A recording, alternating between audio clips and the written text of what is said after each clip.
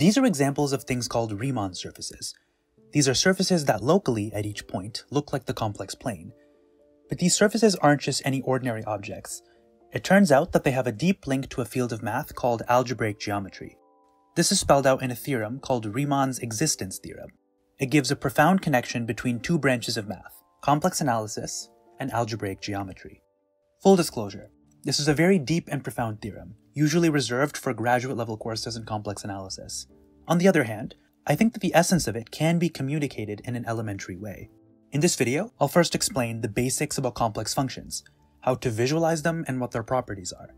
Then we'll see our first example of a Riemann surface, the so-called Riemann sphere, and we'll see that it has a surprising algebraic property. Finally, I'll be able to state Riemann's existence theorem and why you should care about it.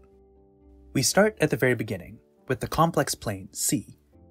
It's a basic fact that every complex number can be visualized as an arrow in the complex plane. The length of that arrow is called the magnitude of z, denoted z in absolute value bars. And the angle of that arrow with the x-axis is called the argument of z, denoted argz.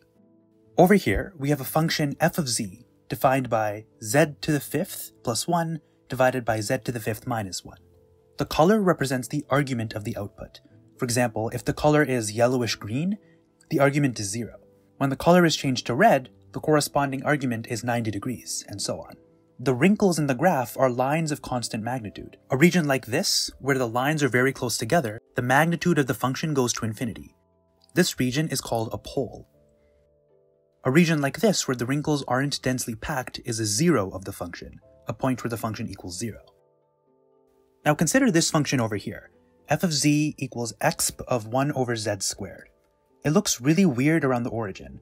Now this is neither a zero nor a pole. It's something called an essential singularity.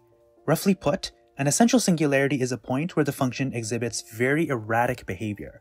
We're going to view these functions as pathological. The functions we're going to consider for the rest of the video are called meromorphic functions. Broadly speaking, a meromorphic function is a complex differentiable function, f from c to c, where all the singularities are poles, and there are no essential singularities. I should say this is not at all a rigorously correct definition. The precise definition of a meromorphic function is rather technical. Here it is if you're curious. So the attitude we'll take in this video is you know it when you see it. The two functions we saw earlier are meromorphic, but the function with an essential singularity is not meromorphic. We'll view these functions as being good, they have nice controlled behavior. We'll view this function as being bad, they're uncontrollable and we'll ignore them for the rest of the video. If there's one thing to make clear, there are a lot of meromorphic functions on the complex plane. Trig functions, exponential functions, polynomials, rational functions, the gamma function, the Riemann zeta function, and all possible combinations of these things, it's a large and unmanageable space. What people noticed is that if you added a tiny constraint, then the space of meromorphic functions shrinks down to something much tinier, which ends up being more manageable. So what is a constraint? Well, for that we need a definition. We'll say that a function f of z is meromorphic at infinity if the function f of 1 over z is meromorphic near z equals 0. An example should clarify. Consider the function f of z equals exp of z squared. It looks like this. Let's calculate f of 1 over z. So this equals exp of 1 over z squared, which looks like this. As we saw earlier, this is not meromorphic near z equals 0, because it has an essential singularity. So the original function is not meromorphic at infinity.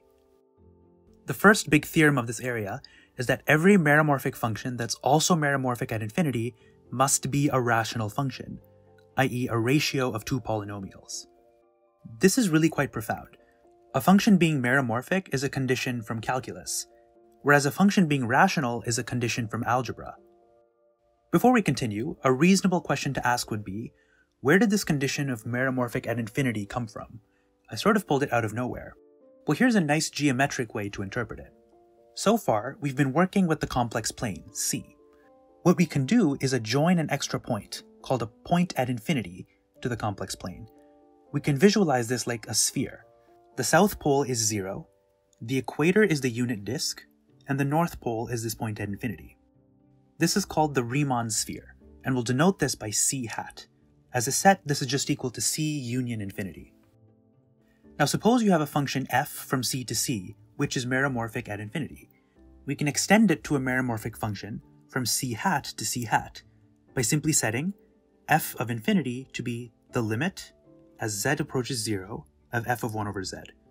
The idea being that as z goes to 0, 1 over z goes to infinity. Then f is meromorphic at infinity precisely if this map is meromorphic at the point infinity of the Riemann sphere, so that explains where the terminology comes from. We can now restate our earlier theorem using our new language. Every meromorphic function on the Riemann sphere is a rational function. At the start of the video, I mentioned that we'll discuss a deep connection between complex analysis and algebraic geometry.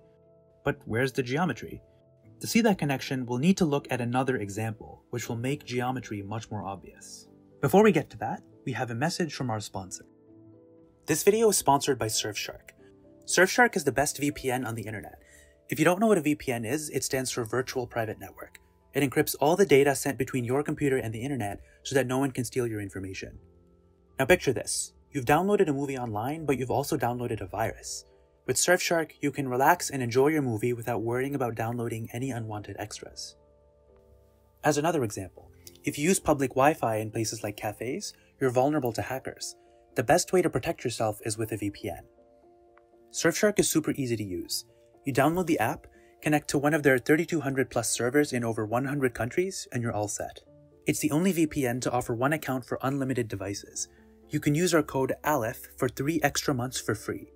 There's a 30 day money back guarantee, so there's no risk to trying it out. Thanks to Surfshark for sponsoring this video. Where we left off, we were talking about the Riemann sphere. Now let's look at a slightly more complicated example. This is the example called a complex torus. Take the complex plane and imagine a square grid overlaid on top of it. Say for simplicity that this point is 1 and this point is i so that the grid hits all complex numbers with integer coordinates. Now zoom into one square in this grid. If you glue the top and bottom together, you get a cylinder. If you stretch and glue the ends of the cylinder, you get a torus. Now this is referred to as a complex torus, because it's a torus that's cut out from the complex plane. To motivate what we're doing, let's look at an analogy. Take the interval 0 to 2 pi on the real number line. There are two important functions on the number line that keep repeating every 2 pi. These are sine of t and cos of t. Now a basic fact from trig is that these functions satisfy an equation. Cos of t squared plus sine of t squared equals 1. To see the connection to geometry, let's do the following.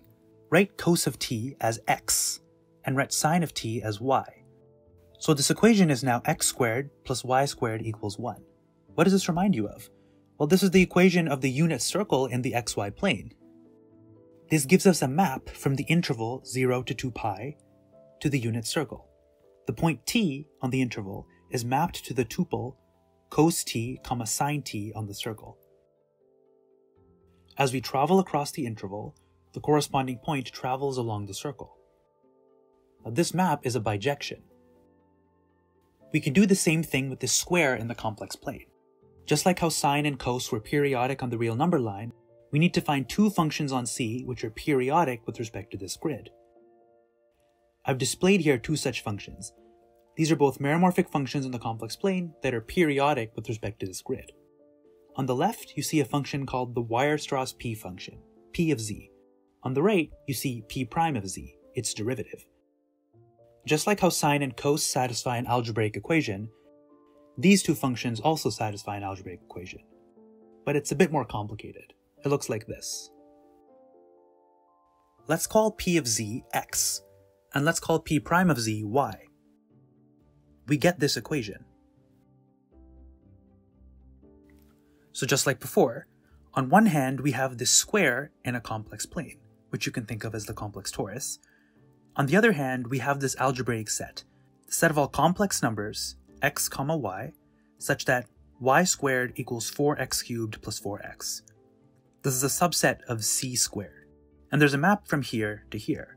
Given a complex number z, we map it to the pair p of z, comma p prime of z. This is entirely analogous to how we mapped the unit interval to the circle by using sine and cosine. There is a bijection between the interval and the circle, is there a bijection between this square and this graph? Not quite. And that's because if you take the value 0, it gets mapped to p of 0, comma p prime of 0. And both of these functions have poles at 0, so you don't really get two complex numbers. To get around this, we have to adjoin an extra point to the curve, called the point at infinity, and the point 0 on the square gets mapped to this. Now, making this precise is a little bit hairy. To do this, mathematicians don't consider this curve as living in C2, but in a slightly larger space called CP2, the complex projective plane. Defining this rigorously would require a whole another video, so to make sure we don't obscure the main point, we'll gloss over this technicality.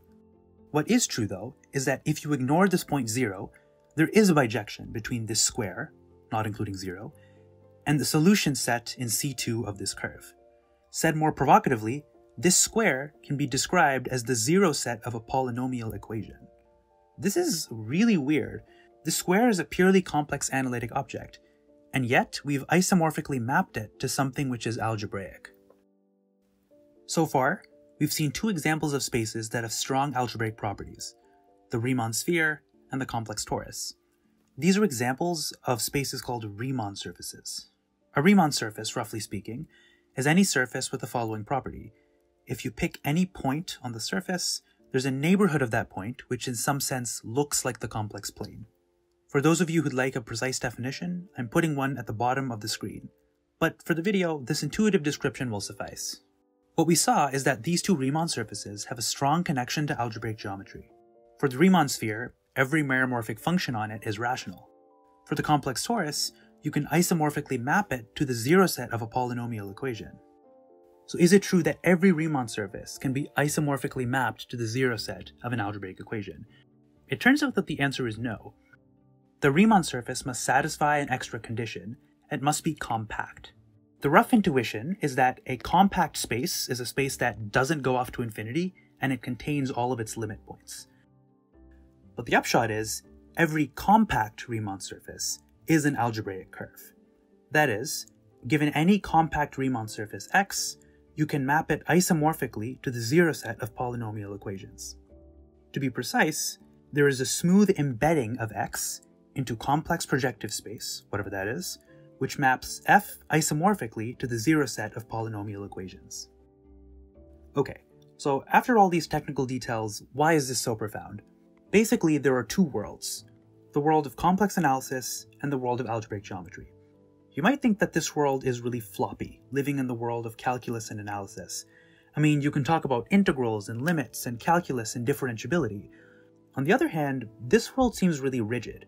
Like, polynomials are rock solid algebraic things. They seem like they're made of plaster. But the miracle is that these two worlds are actually the same thing. Complex analysis is algebraic geometry in disguise. That's all for now. Thanks for watching, and I'll see you next video.